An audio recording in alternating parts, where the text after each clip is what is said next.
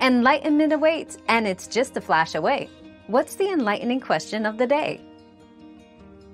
Stress does not directly impact HCG levels in early pregnancy.